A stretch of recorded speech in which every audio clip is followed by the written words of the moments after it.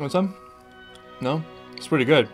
Very juicy. It's a little bit too much for me to finish. Twitter Lord, you want some? Oh yeah, that's true. I didn't even think about that. Sorry. My bad. Oh, don't be so sentimental. Shall we get started? Let's do Korra. Earth. Earth. Fire. Wa- Fire. I already got water. Air. Whatever. Chapter 10 Turning the Tides. That's so creepy. She's just lurking in the doorway. How to do a love triangle in one frame. And where's Tarlok? Amon captured him and took his bending. What? Yeah, that's what I said. Amon is becoming emboldened. Yeah, and part of that is Tarlok's fault, doubling down on the capturing of the Equalists. Korra needs more tea. That look on his face. Boil it yourself. Oof. I'm gonna step out in case you two want to talk. Good move, Pema. Good move. The kiss, Mako. I. Well, Bolin Busted. you. Don't blame your brother for what you did. Yeah. Can we deal with our relationship problems later? Well, there might not be any relationship to worry about later.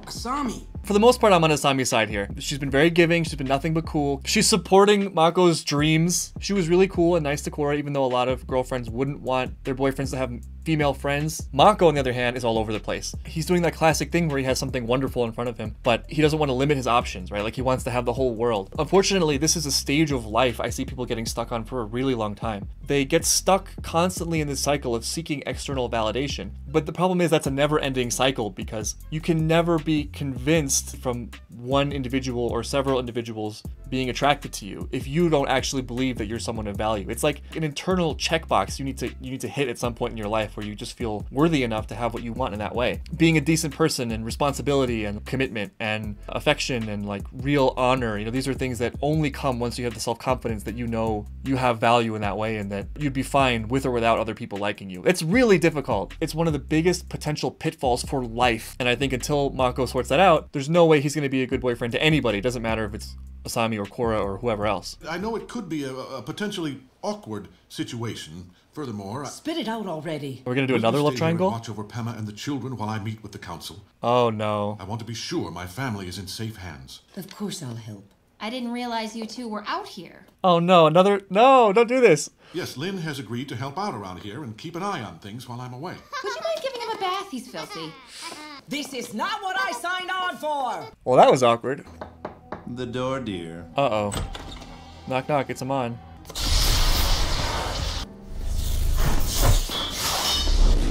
Oh, nice. His mustache radar. Nice. Wind style. For the win.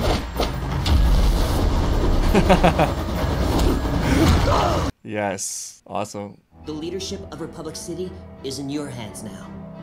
Wow. Could do a lot worse than Tenzin, though. One reason I trust Tenzin instantly is because he seems like a reluctant leader, which in many cases is like a sign that they're not self interested, that they'll hopefully lead carefully The time has come for the Equalists to claim Republic City. by bombing it.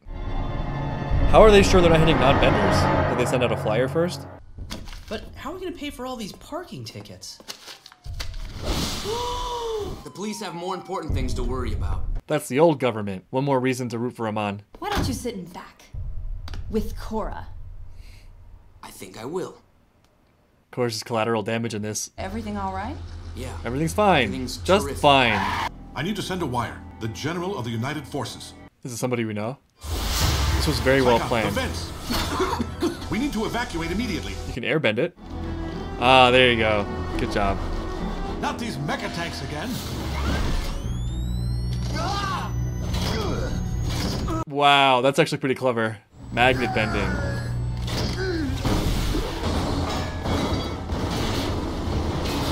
Wow, this was really well done. She's driving angry too. Somebody's just pissed off. Oh man. Yeah, she's not having it. She just got out all her aggression from Mako. Wow. We will capture them before long, and you will have your daughter back. But she'll never love you. Look,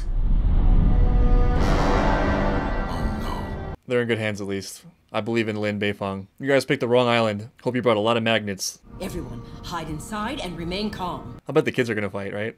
Didn't I just say remain calm? Mommy? Oh no. What's wrong?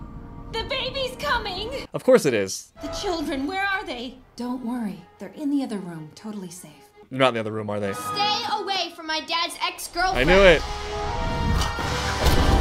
Oh, wow. Aang's grandkids. Get off our island! Uh, it's kind of silly, but I also love it. Taste my fury! Alright, I could have done without that. Be careful! He just fart bend? Never mind. Kids, am I right? Pema! So much is happening. I'm here, Pema. Our new son. Is he a bender? That's the question. Hello. Rohan. Rohan. You and your family are the last airbenders.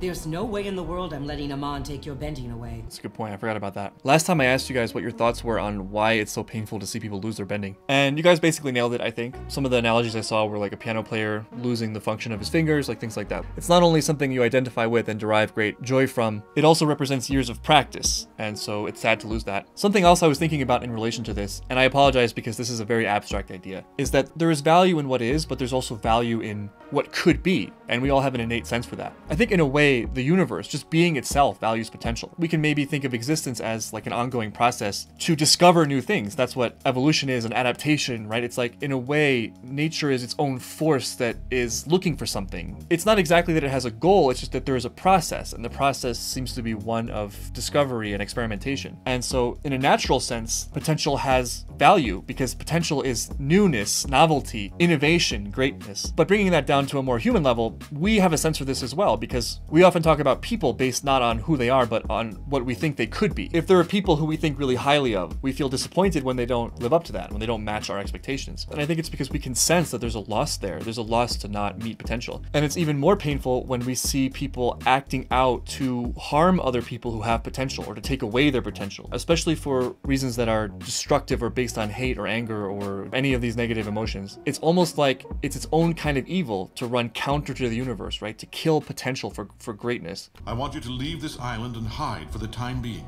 With the reinforcements, we can turn the tide in this war. We need to be patient. You're learning well. Yeah, that is true. It's really hard to fight Amon in this because the people that have the best chance of fighting him are so essential to the world. The world needs Tenzin as one of the last airbenders. We need Korra as the avatar. It doesn't leave a lot of really powerful people except for Lin, I guess. It's all in your hands, Lin Beifong. There's so much music in this episode. Damn it. What's this guy?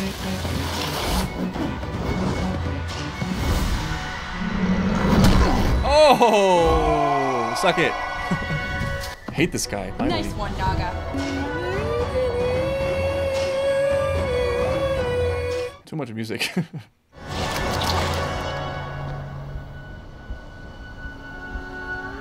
What's happening? Whatever happens to me, don't turn back. Oh no, what is she doing? No, I was just joking. You don't actually have to do it. That's pretty badass though. Oh, damn.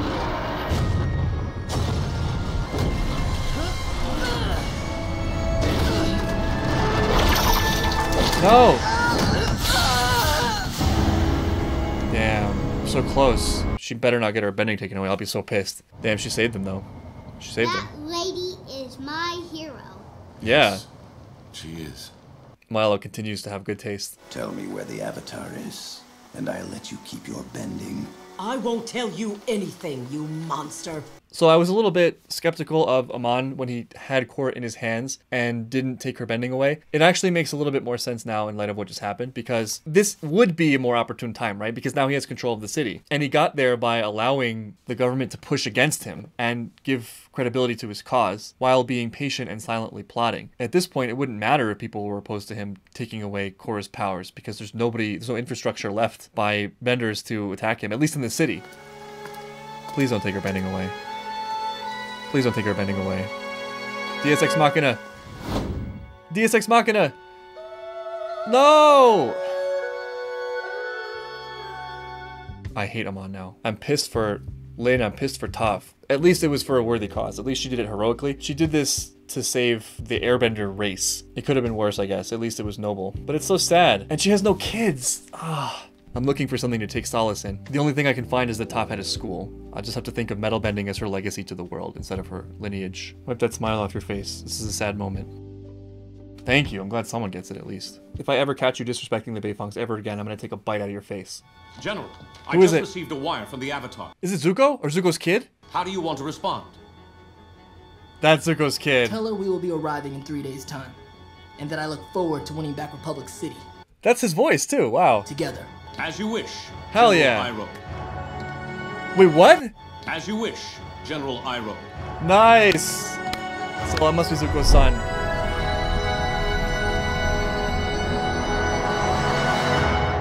Awesome. I love it. Ah, that was weird. I hit like my rock bottom point being sad about Lin losing her powers, and then like a high point seeing Zuko's son, who's named Iroh. It must be Zuko's grandson, actually, right? Because he looks young. Iroh. Sorry about what I said earlier, but what I said still stands. I will bite your face off. All right, that is gonna do it for this episode. what am I doing? What is going on?